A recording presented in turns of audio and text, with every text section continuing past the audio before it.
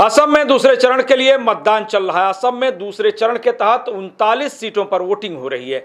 इस दौरान All India United Democratic Front के अध्यक्ष बदरुद्दीन अजमल ने कहा कि पीएम मोदी और अमित शाह ने कहा है कि वे बांग्लादेशी घुसपैठियों को वापस भेजेंगे। मैं उनसे पूछना चाहता हूँ कि अब तक कितने बांग्लादेशियों को वापस भेजा। वहीं पीएम मोदी ने आज असम में रैली की और कांग्रेस पर हमला बोला। मोदी ने जनता को कांग्रेस के झूठ से सावधान रहने का आह्वान किया। सालों साल तक हिंसा में जुलसने दिया। ये आप और हम कभी भी भूल नहीं सकते।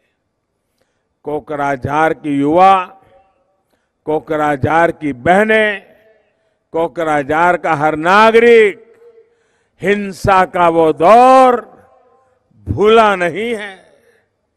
उस दौर में दिल्ली से लेकर गुवाहाटी तक कांग्रेस की सरकारें चुपचाप तमाशा देखती रही।